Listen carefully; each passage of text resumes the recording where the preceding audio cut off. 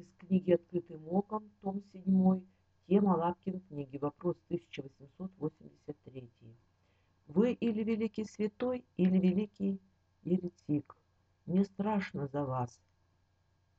Я читаю ваши книги, душа радуется, но когда вот так послушаю, как вы громите все авторитеты и не признаете или подвергаете сомнению даже Серафима Саровского и Амвросия Оптинского, где они благословляют монашескую жизнь, одобряют постриги, то руки опускаются.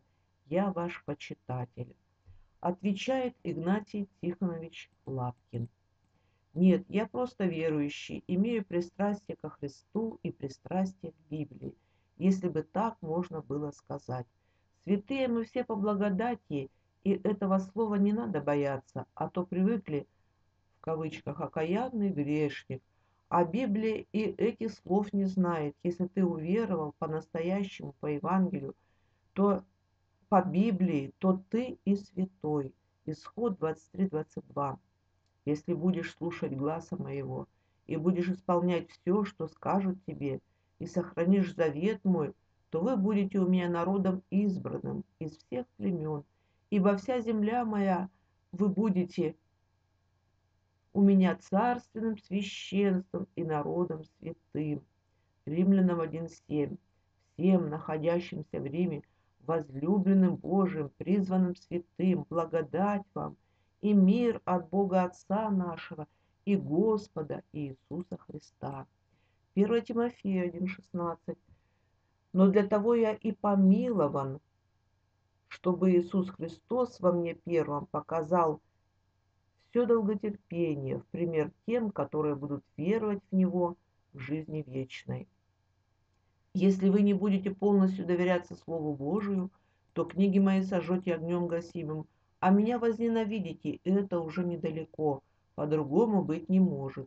Христос слышал, как люди ссылаются на авторитет Моисея, прикрывались эти, этими святыми, но доказал, что и Моисей им не помощник. Иоанна 8.40. А теперь ищите убить меня, человека, сказавшего вам истину, которую слышал от Бога.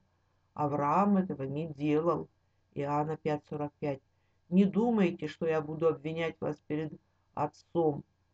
Есть на вас обвинитель Моисей, на которого вы уповаете.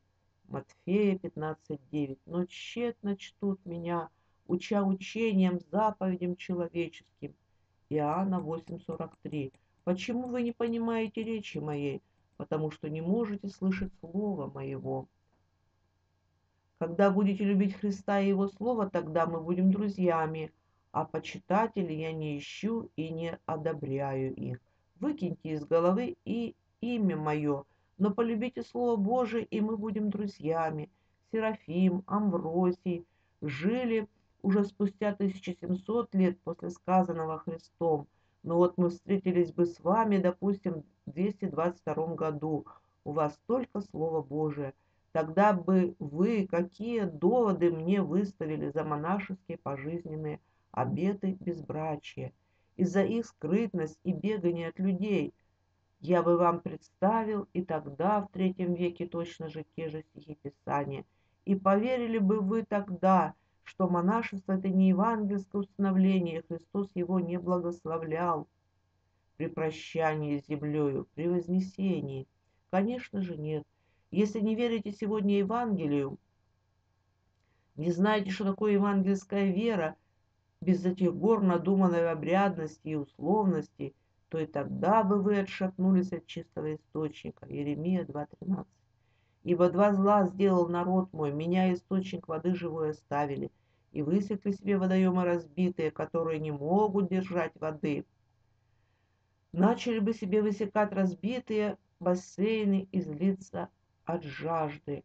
А теперь за давностью много пришло нарушителей, они по ревности многое делали, не по рассуждению. Это же и так им понятно, что авторитет их умышленно создан монахами, а сегодня к ним обращаются как к авторитету.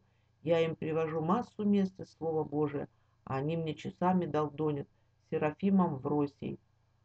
У вас вера не Христова, а Серафимовская и Амвросиевская – и вы любите их заблуждение, а чистое Слово Божие не знаете и не тянетесь к нему, вы мне явно не друг.